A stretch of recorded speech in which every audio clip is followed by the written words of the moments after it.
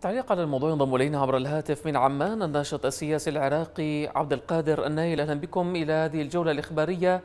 مفوضية الانتخابات قالت إن حريق مكتب الرصافة شمل أجهزة تسريع النتائج والتحقق الإلكتروني. ماذا قصد الفاعل باستهداف هذه الأجهزة؟ أهلا وسهلا بكم وبمشاهديكم الكرام. من المؤكد أن الفاعل الذي ذهب بهذا الاتجاه واختار هذا المكان هو يعلم تماما على أهمية هذا المكان بحيث أنه أخفى جميع معلومات الانتخابات من حيث القراءة الإلكترونية ومن خلال أجهزة أجهزة التسريع وكذلك المكان الأهم الذي سيشمل فيه العدوى الفرد لذلك هو حقيقة ذهب باتجاه انهاء أي ما يبدر من عملية العدوى الفرز التي قرر اجراؤها في على هذه الصناديق، لذلك هو قصد إنهاء العملية بالكامل وبالتالي محو جميع الآثار التي تترتب على عملية موازنة أو مواجهة نتائج العدوى الفرز مع نتائج الانتخابات الإلكترونية، لذلك هو حقيقة يؤكد على أنه ضمن الأطراف السياسية الموجودة وأنه شخص فاعل وبالتالي هو يؤكد على مشاركة المفوضية في عملية اختيار مكان الحرب. هناك من يقول بأن هذا الحريق ليس بفعل فاعل، كيف تعلق أستاذ عبد القادر؟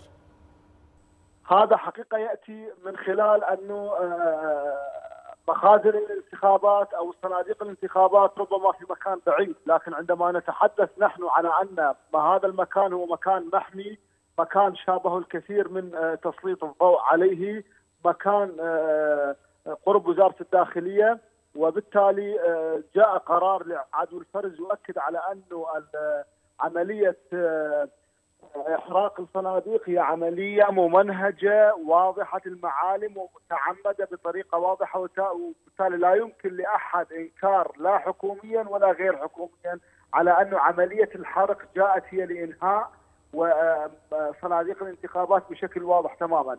وهذا حقيقة يعكس على الواقع السياسي لهؤلاء الأطراف السياسية الذين لم يحترموا حتى الصناديق التي زوروها لأجل إعادة أنفسهم. أنفسهم مرة ثانية للانتخابات لم يحترموا هذه الصناديق وبالتالي عملية حتى عملية الحرق هو جاءت لي بطريقة ليس بطريقة عفوية.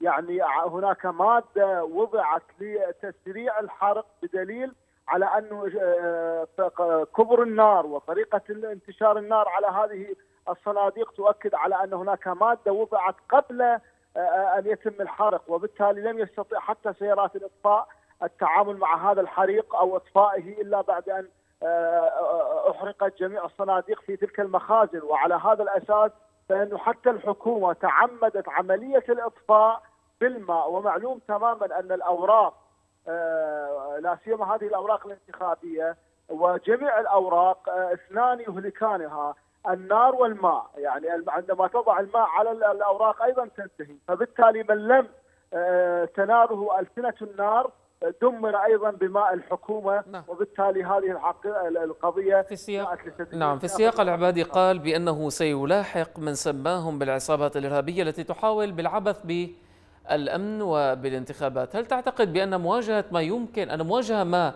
من الممكن أن تندلع في ظل وجود سلاح بيد شركاء العملية السياسية؟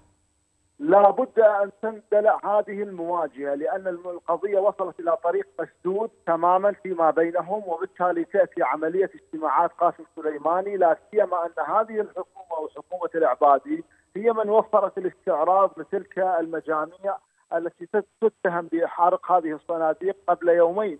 في بغداد وأغلقت جميع الطرق لها واستعرضت بسلاحها وبأسمائها الميليشياوية التي كان يتبجح العبادي ويقول لا يوجد هناك ميليشيات في البلاد.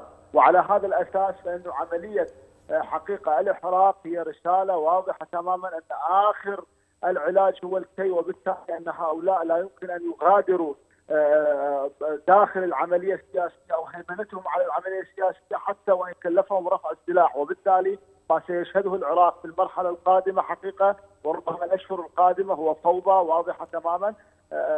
هي الحكومة من سهلت هذه القضية وبالتالي تأتي على أن الانتخابات لا أمل آه، أن يكون هناك ديمقراطية في العراق ولا نشفت العملية السياسية وهذا يستدعي أن تكون هناك حقيقة وقفة جادة من الأمم المتحدة ومجلس الأمن الدولي الذي العراق هو في تحت الفصل السادس به وهذا ما يطالبه العراقيون الآن ويرتفع صوتهم شيخ عبد القادر اهالي هذه المنطقة اهالي هذه المنطقة التي حرقت أصواتهم كيف سيكون ردهم رد فعل الشارع في هذه الأثناء على عملية الإحراق؟ عملية الإحراق حقيقة ستجعل من الشارع العراقي ولا سيما تلك المنطقة التي آه، ربما هي قريبة على الصدريين.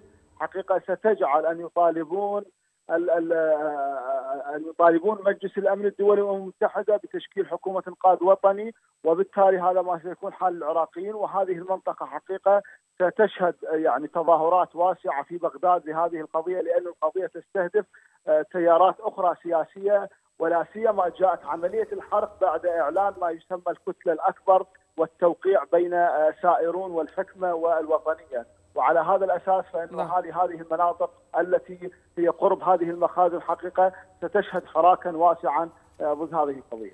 الشيخ عبد القادر النايل الناشط السياسي كنت معنا عبر الهاتف من عمان شكرا جزيلا لك.